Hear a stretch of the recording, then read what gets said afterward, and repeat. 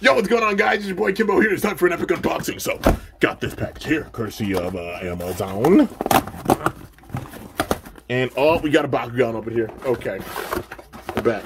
So, oh, we got a couple things up in here.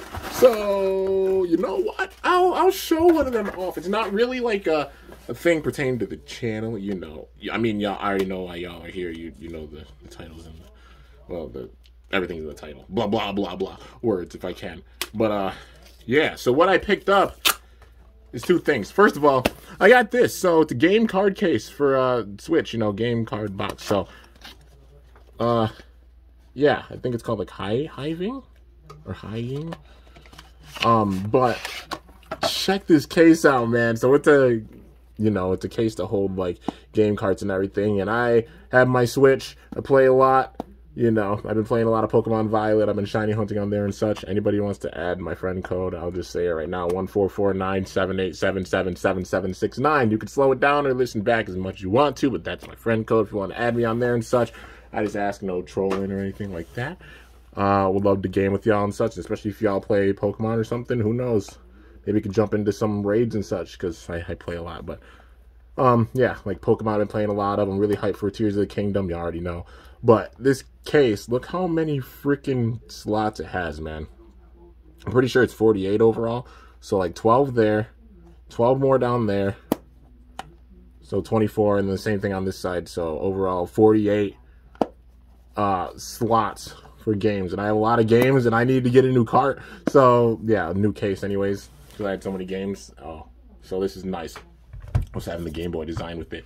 Well, yeah, so that's the first thing. I'll put that off to the side and such. But uh, yeah, I guess a little Easter egg type thing. I don't freaking know.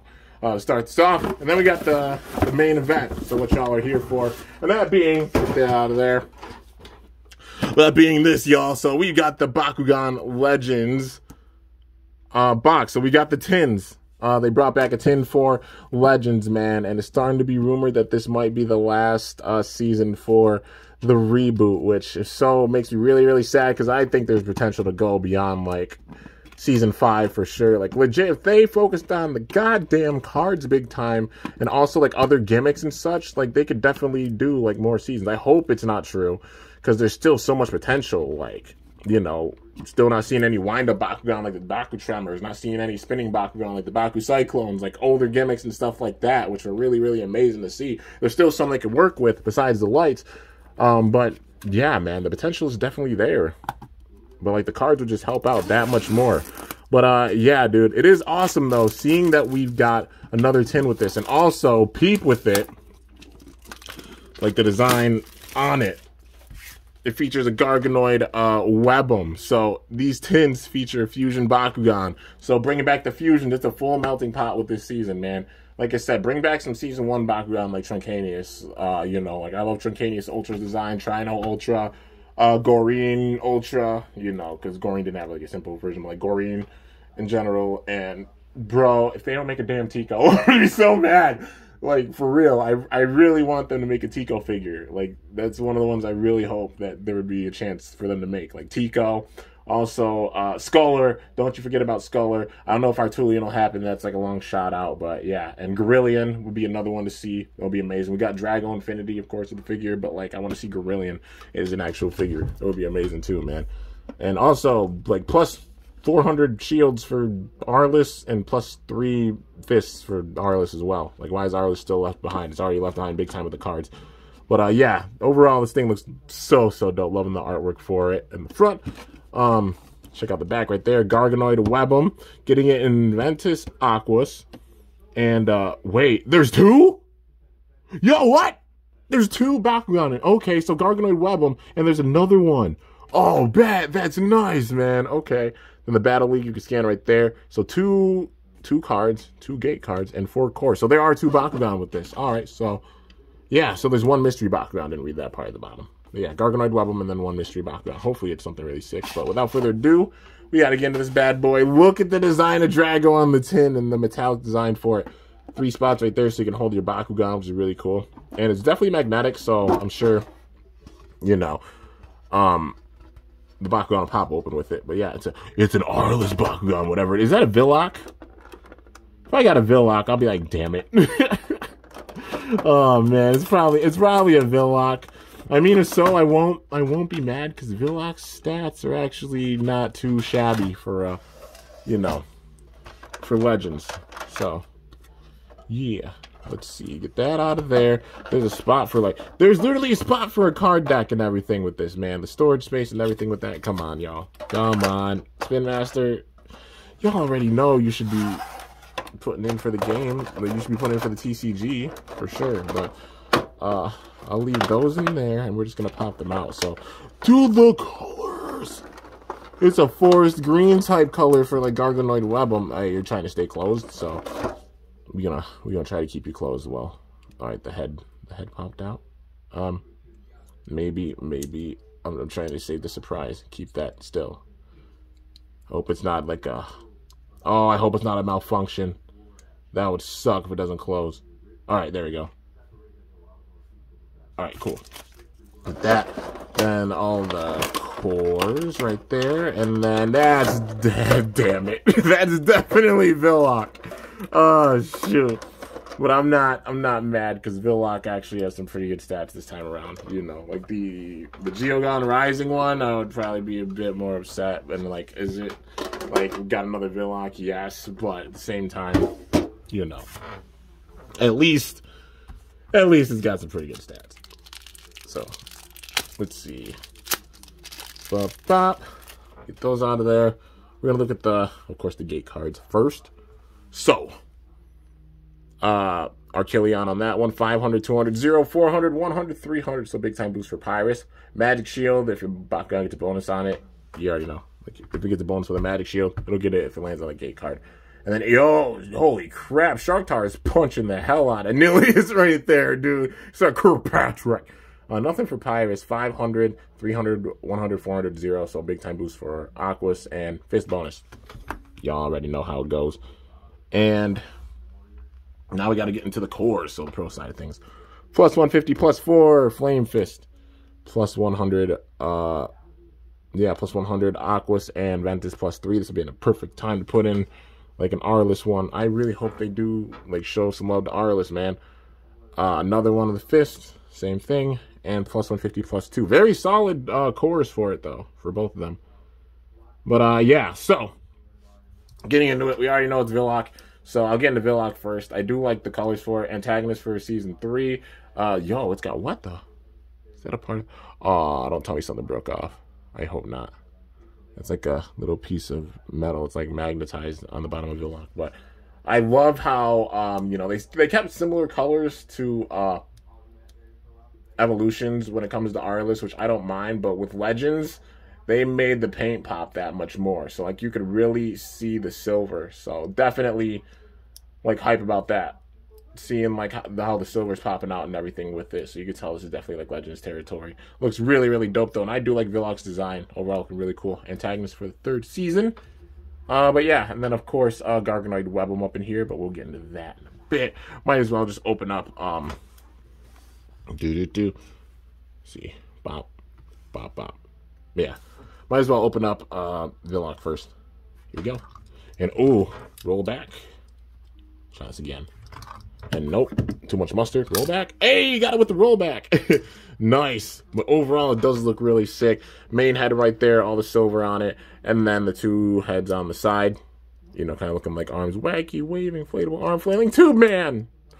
Or, or Villock or whatever. Wacky, waving, inflatable, arm flailing Villock. But yeah, it, it still looks really, really awesome, man definitely dig the design for Villock. Um, it looks like Villock might have like maybe got some inspiration from um, Vicerox because it just reminds me a lot of like its design from like the first season. But yeah, man, overall looking really really dope. And heads back in, head, shoulders, knees, and toes. That's how you close it up. Pretty simple. But yeah. All right, so. Uh, oh, I just had to clip it together. Uh, da, da, da, if I can get it anyways. There we go. Like, just the, the clip in the back wasn't down. But now we got to get into Gargonoid Webam. Seeing Fusion's return with this, man. And look at the color. This is reminding me of, like, Season 4, like, Titanium Surge. Like, how they did, like, the, the Baku, like, Camo Surge. And, like, you know, like the kind of camo design Bakugan, like that color tone that they had at the end of the first era. It's reminding me a little bit of that. Like the forest green with it looks really, really dope though. Lime green for the paint, um, you know, as well as on the arms for it. And yo, some of that blue right there. It's an interesting like color choice for it. More like a cyan with it, and then you got some more like an aqua blue but overall, looking really cool, and it's awesome they're putting fusions back in. I just hope that they're giving fusions some pretty good stats to where they can hang, because like some fusion designs are really, really awesome. Like some fusions have really, really awesome designs, but didn't have the craziest stats or anything, so it's tough to use them. But let's see how's this bad boy look. Hey, Gargonoid Webam. Overall, having a terrifying ass design. Like, think of Gargonoid and Webam being combined together is terrifying, man. They have an artwork like, what was it? Like Stinging Web Snare for the art work for the cards. You see Shun like just terrified of that thing. I'd be terrified too, man. Like this insane abomination looking so wild, but then it's got the arms that do go out. Um, I can get them, they do twist forward, but they they twist down. If I can get it, not gonna force them down right now, but uh, yeah, overall, just having a really sick design. And Webam's another Bakugan that I think would be cool to have, like, you know, more molds for, like Ultras, because we never got in Pyrus and never got in Aurelus and I would love to see them actually get like, like you know, well to see it get a, if I could freaking words, to actually get a design in Pyrus and Aurelus because I love Webam's design a lot. But yeah, man, overall looking really, really dope is Gargonoid X Webam. B power of 100. I hope it has some pretty good like boost with it or something because 100, uh, man, you know, I'm just hoping like this time around the fusions has some pretty like there are some fusions that are definitely usable and strong, but yeah, some it's just like tough. But there is a Gargonoid Webam, man, so you can see Aquos Ventus with it. Yeah. So now we gotta get into it. So we're starting off with Villock, 603, lands on a fist on a fist, lands on a flame fist. It can add a core, so that's the big time thing with it. So that's putting up to like 1500. Yeah, 1250 plus that, well, the Flame Fist, like if it gets to 650 with it, yeah, it'll be 1500. It'll be up to 1506 it can get up to. So that's some serious power. Definitely stronger than like the Geogan Rising version, which definitely glad to see that. It's got some big time power and does well because I love the design for this thing. Just Geogan Rising version, not too easy to use. But this version definitely you can use it. And then we got Gargonoid Webam. What the hell is that? Okay. Double fist 110 but if it lands on a fist, it could fuse right away. Oh, bet. Okay, so first of all, 110. Top damage straight away in the game. Right there. So on a damage deck, your boy's going to put in that work. And honestly, on a regular fist, yeah, it'll put up to like 250 and 12. It'll be a 12 damage at that point. Literally right from the jump. So, yeah, you can't sleep on it. Damage deck wise, what the hell? Are you kidding me? Bro! A thousand and ten. That boy got power. Oh, okay. Now, now I'm intrigued. 1150, 1150 and 12. So decent B power with it. Uh, breaking a thousand, so still having some big time B power. Yeah, beast. Um, and all that damage. Okay, this just got me hyped for the fusions, man. Like, I I love the fusion Bakugan. This is gonna make it where like Shields of Vestroia and those card pack. Oh my god. It's just, dude, these fusions are making it where, like, Fusion 4 Shields of Vestroia, like, those fusion cards are gonna be so, so strong. If they're putting, like, credible fusions in, I could put in the work. Dude, it's diversifying the game that much more, and still the balance is there. I love it. I love it so much, man. they they've done a great job at balancing this, even up to the fifth season. But yeah. Anyways, guys, that's gonna do it for this review on this epic Bakugan Legends 10. If I can get both days on there.